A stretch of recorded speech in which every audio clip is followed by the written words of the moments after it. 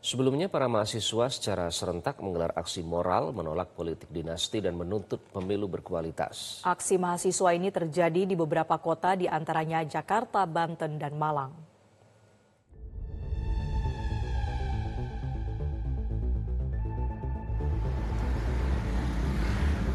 Mahasiswa Indonesia kembali turun ke jalan dengan membawa isu dinasti politik Presiden Joko Widodo. Aksi ini pun dilakukan secara serentak tidak hanya di DKI Jakarta saja, namun juga digelar di lebih dari 700 kampus di Indonesia.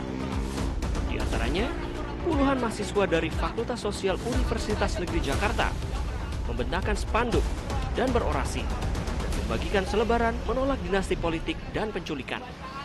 Hal serupa juga terjadi simpang 4 Dieng, Kota Malang, Jawa Timur.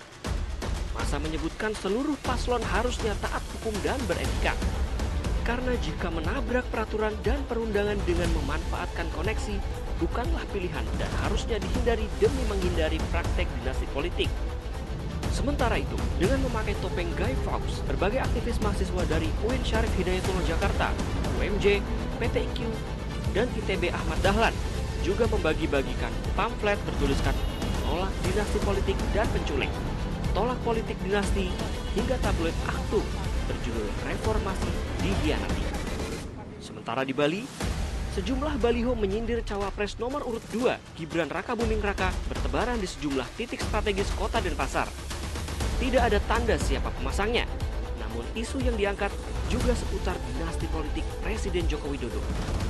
Liputan Metro TV. Jelajahi cara baru mendapatkan informasi. Download Metro TV Extend sekarang.